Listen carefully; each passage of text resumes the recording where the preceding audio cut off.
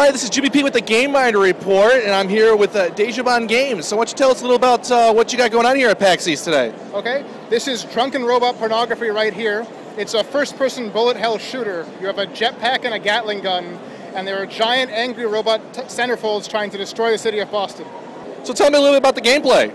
Uh, so, you have a jetpack and a Gatling gun, and you're running around destroying these giant robots. Uh, the backstory of the game is that your robot bartender, Tim, you accidentally gave him sentience, uh, and he realized that he kind of didn't have a great lot in life, so he took your robot uh, dancers and put them into huge bodies and sent them off to go rampage across Boston.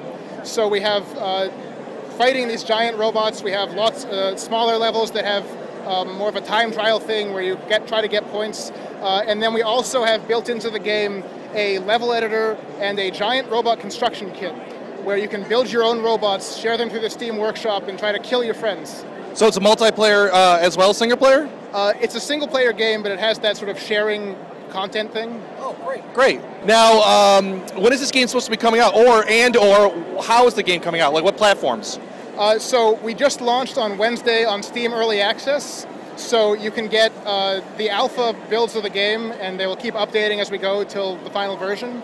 Uh, right now, it's out on Steam uh, for PC. Eventually, we hope to have it for Mac and Linux as well, but that'll be down the road. Sure, sure. Now, is this part of the uh, Made in Massachusetts uh, part uh, that's going on here at PAX East? Uh, it's part of the Indie Mega Booth. Okay. Um, so, yeah, there are 60 different games from a huge number of companies all around here.